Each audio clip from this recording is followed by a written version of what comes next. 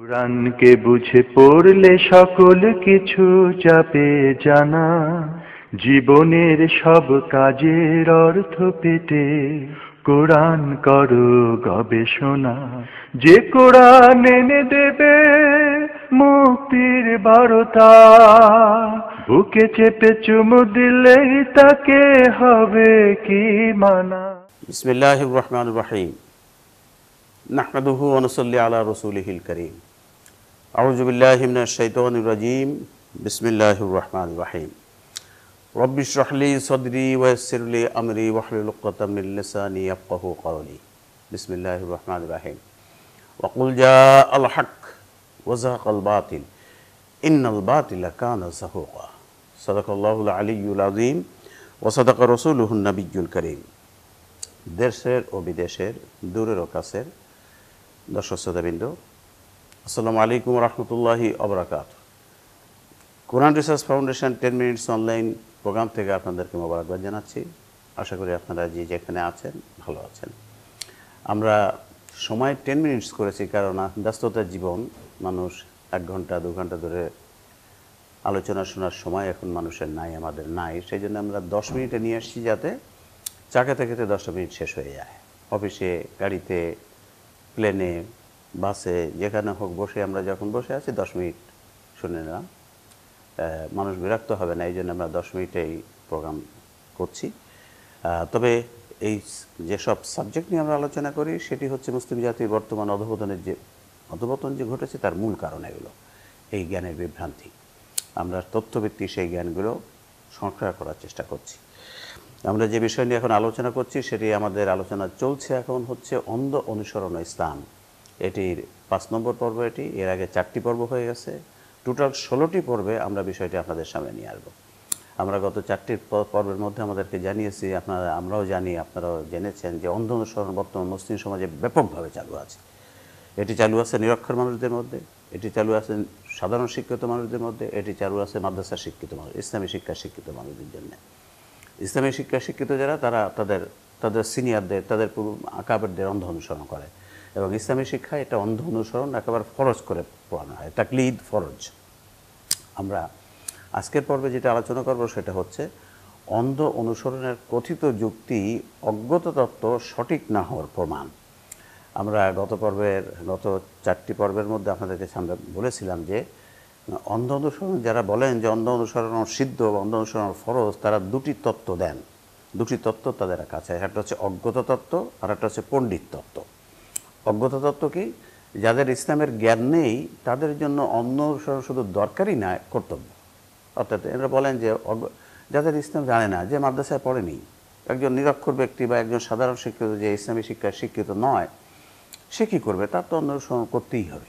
এটা তো তার জন্য খালি সিদ্ধ না, এটা কর্তব্য। না হয়তো ইসলাম পালন করতে সে পারবেই না।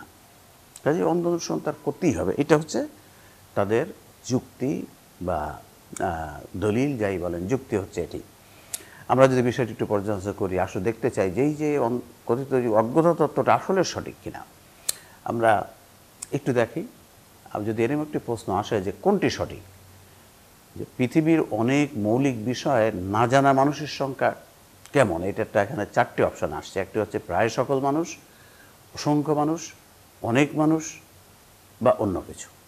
যে পৃথিবীতে পৃথিবীতে, মুসলমানদের মধ্যে না, পৃথিবীতে ইসলামের অনেক মৌলিক বিষয় না জানা মানুষের সংখ্যা কত? আমরা সবাই প্রায় বলব যে প্রায় সকল মানুষই তো অনেক বিষয় অনেক মৌলিক বিষয় জানে না, প্রায় সকল মানুষ। মুসলমানরাও জানে না নন মুসলিম তো জানবেই না। মুসলমানদের মধ্যে অনেক মৌলিক বিষয় না জানা মানুষের সংখ্যা অনেক। দুই একটা জানতে পারে, অনেক না জানতে, না জানার সংখ্যা অনেক। এটাই সাধারণ উত্তর আসে। এবং এর ভিত্তিতে ওই কথাটা চালু হয়েছে, যারা জানে না, তাদের জন্য তো অনুসরণ করতেই হবে। কিন্তু আসলে বিষয়টি কি? চলুন তো আমরা একটু দেখি। পৃথিবীতে ইসলাম না জানা মানুষ যেন না থাকতে পারে, সেজন্য মহান আল্লাহ কমন সেন্স নামের নামক জ্ঞানের একটি উচ্চ সকল মানুষকে জন্মগত হয়ে দিয়েছেন। অপূর্ব তথ্য অপূর্ব তথ্য, দর্শক শ্রোতাবৃন্দ। আল্লাহ রবুল আলমিন চেয়েছেন যাতে পৃথিবী যাতে কোনো মানুষ ইসলাম জানে না, এমন মানুষ না থাকতে পারে। এই জন্য একটা কি? জ্ঞানের একটি উৎস তিনি জন্মগতভাবে সব মানুষকে দিয়ে দিয়েছেন। জ্ঞানের উৎস আমরা অলরেডি এই প্রোগ্রাম থেকে শিখেছি। আল্লাহ প্রদত্ত জ্ঞানের উৎস একটি হচ্ছে কোরআন, দুই নম্বরটি সুন্না আর নবী রসুলাম ইসলামী, ইসলামের দাওয়াতি কাজ করার সময় আল্লাহর অনুমতি ছাড়া কথা বলতে পারেন না, বলতেন না। আর তিন নম্বর হচ্ছে কমন সেন্স তাই যার কমন সেন্স আছে, সে ইসলামের অনেক বিষয় জানে। দেখুন, সাধারণ নৈতিকতার যে বিষয়গুলো, এই যে সত্য কথা বলা ভালো, মিথ্যা কথা বলা খারাপ, চুরি করা খারাপ, ঘুষ খাওয়া খারাপ, দুর্নীতি করা খারাপ টেন্ডারবাজি করা খারাপ এই যে অসংখ্য বিষয়, মানুষকে মানুষকে কষ্ট দেওয়া খারাপ, মানুষকে গালি দেওয়া খারাপ, এই যে অসংখ্য বিষয়, এই সবই কিন্তু ইসলামেরই কথা। আর এ সব পৃথিবীর সকল মানুষ এটা জানে। মুসলিম হোক, অমুসলিম হোক, সে নিরক্ষর হোক, সে সাধারণ শিক্ষিত হোক, সে মাদ্রাসা শিক্ষক হোক, সবাই কথাগুলো জানে। তাই পৃথিবীর ইসলাম অনেক মৌলিক বিষয় জানে, অসংখ্য মানুষ। আর যে ব্যক্তি কোরআন সন্না কোনোভাবে জানতে পারেন নাই, তাকে কমন সেন্সের জ্ঞান ও আমল ভিত্তিতে পরকালে বিচার করা হবে। এটাও ইসলামের একটা বিধান। যে কোনো মতেই কমন জানতে পারে না ইসলামের বিষয়, পরকালে মনে করেন একটা মুসলিম ঘরে জন্মগ্রহণ করতে শিশু খুব একটা অজ পাড়া গায়ে, সে কোনোভাবে ইসলাম জানতে পারে নাই। তাকে তার কমন সেন্সের মাধ্যমে, পরকালে তার বিচার তাকে জিজ্ঞেস করার এই, তুই কি নামাজ পড়েছিলি? আল্লাহ, নামাজ পড়া কি? আমি তো জানতে পারিনি। আমি তো জানি না নামাজ পড়া কি? আমি তো জানতেই পারিনি।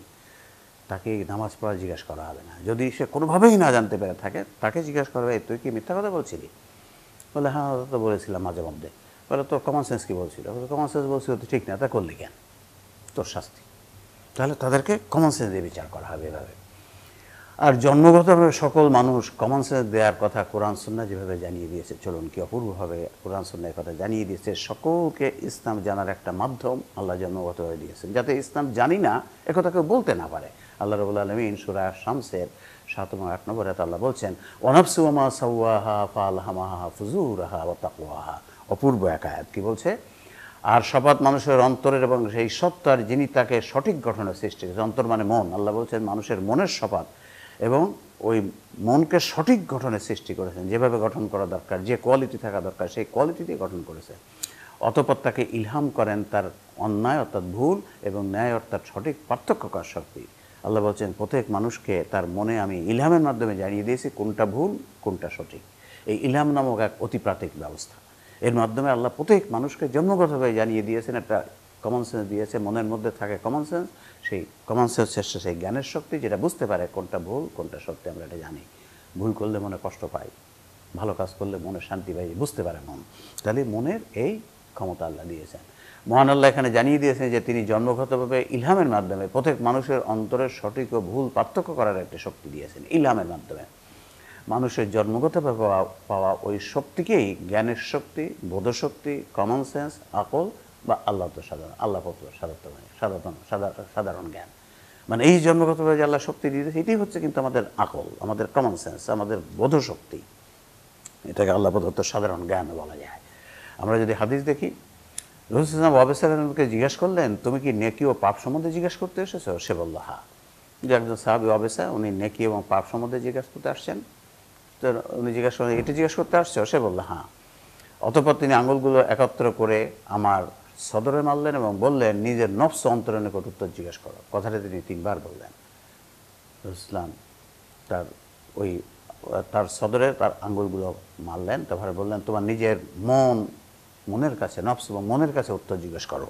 তারপরে বললেন, যেটি তোমার অতর্পণ, যে বিষয়ে তোমার নফস ও অন্তর স্বস্তি ও প্রশান্তি লাভ করে, তাই নাকি?